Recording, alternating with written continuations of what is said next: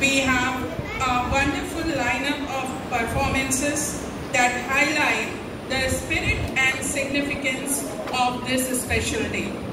So let's start with the very first performance, which is a patriotic song by school choir. It is going to be filled with patriotism, talent, and the essence of our nation. Song by school choir.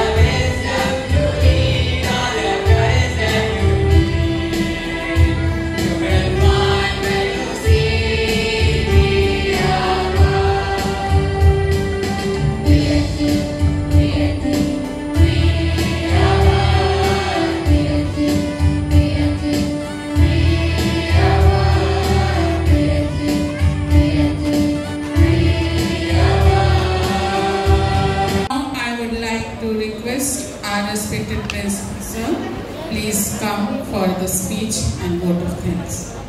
here to celebrate 78th Independence Day on August 15, 2024. Today is Thursday. This significant occasion marked the anniversary of India's liberation from British colonial rule on August 15, 1947. Following a long and arduous struggle against colonial rule, the day served as a reminder of the sacrifices made by countless freedom fighters like Mahatma Gandhi, Pandit Jawaharlal Nehru, Dr. Rajendra Prasad, Sardar Vallabhbhai Patel, etc., who fought valiantly for the nation's liberty. With the first celebration of Independence Day taking place in 1948, marking the beginning of new era for India. Every year, the Independence Day celebrations take place at the historic Red Fort in Delhi, where the pride flag and the- has seen the nation reflect, reflect on its journey, celebrating both achievements and the rich cultural diversity that defines it. In addition to the commemora- commemoration of freedom,